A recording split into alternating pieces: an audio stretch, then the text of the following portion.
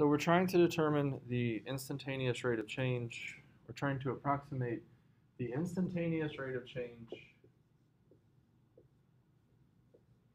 of f of x equals x squared minus x at 0. And so the conceptual thing here is that instantaneous rate of change can be approximated by average rate of change over smaller and smaller and smaller and smaller intervals.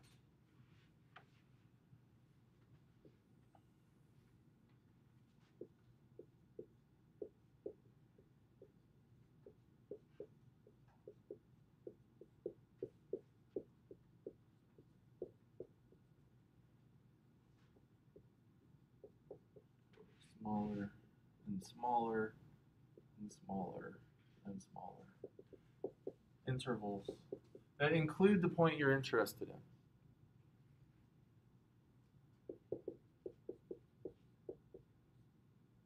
And this is 0 because this is 0. So the first thing we might do is we might calculate the average rate of change over the interval 0, 0 0.5.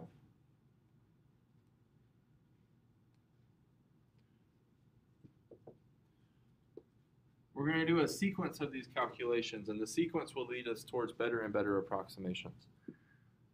So I would look at f of 0.5 minus f of 0 over 0.5 minus 0.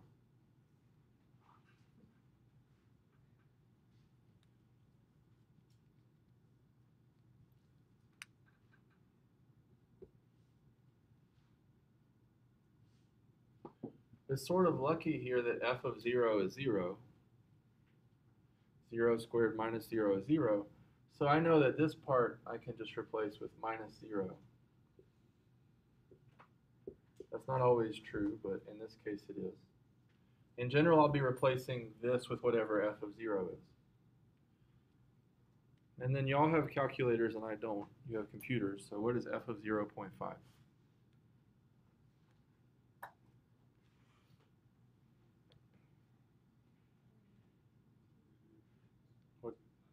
It's negative 0.25, you tell me?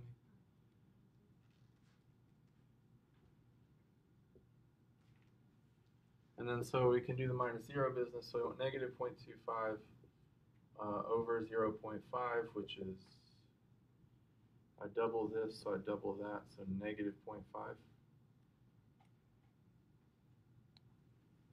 Now that's a decent approximation, but this is still a pretty big interval. To get a better approximation, we want a smaller interval.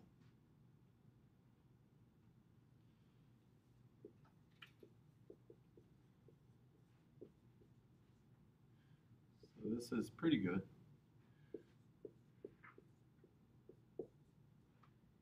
A better approximation would be to do the average rate of change over 0, 0.0, from 0 to 0 0.1. So in that case, I would have f of 0 0.1 minus f of 0 over 0 0.1 minus 0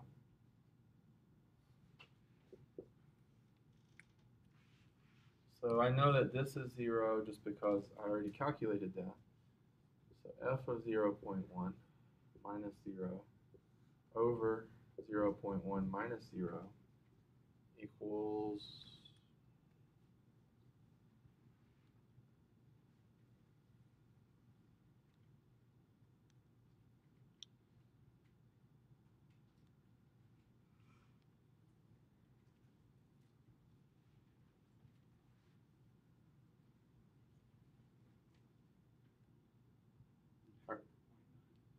negative 0.9.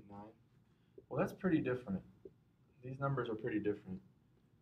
You might get hit for speeding on this one and not for this one. So it was important to do our better approximation. Now we can get an even better approximation. How?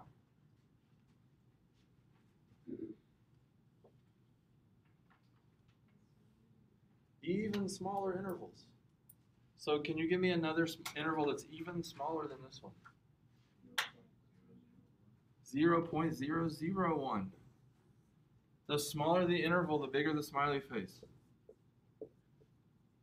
In terms of the account, in terms of the approximation. How many zeros did you say? Two zeros. All right. So you look at f of 0.001 minus f of 0 over 0.001 minus 0, which is equal to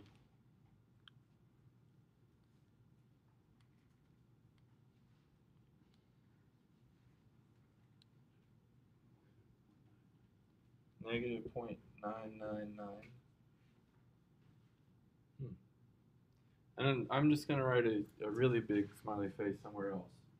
But even better approximation is the average rate of change over 0 to 0 0.00. I'm going to do four zeros now. Gives me f of 0 0.00001 minus f of 0 all over 0 0.00001 minus 0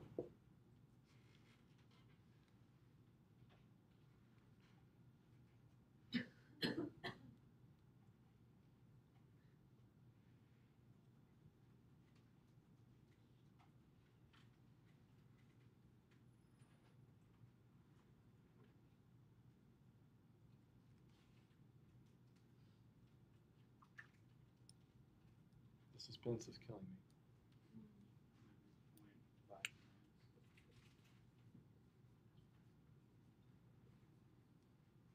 So do not say, please, I'm- and I understand why people do this, but this is not approximately negative 0.9999.